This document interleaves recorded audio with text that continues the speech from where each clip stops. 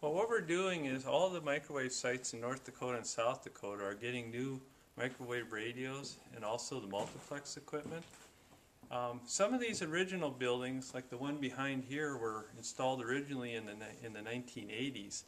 And with the uh, new equipment that we're putting in, mobile radio equipment, uh, larger capacity microwave radios, the existing buildings were like 8 by 18 feet.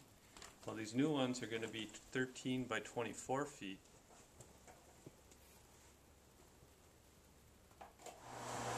So this is the old building. This is the old building. You can see how cramped it is in here. You've got the 48 volt batteries over here.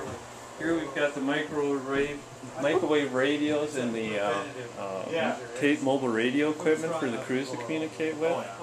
Um, when we're doing the cutover, we got to have the old equipment in here and the new equipment so that we can have the system running while we're testing the new equipment have an extension cord. Have you seen that, Bryan?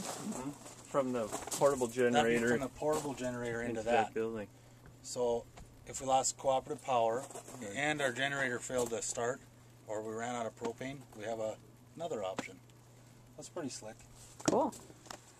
Well, sometime this fall we'll start moving equipment into there. Actually, I heard um, Cummins is coming this week. We need commission generators, right? Yeah. And then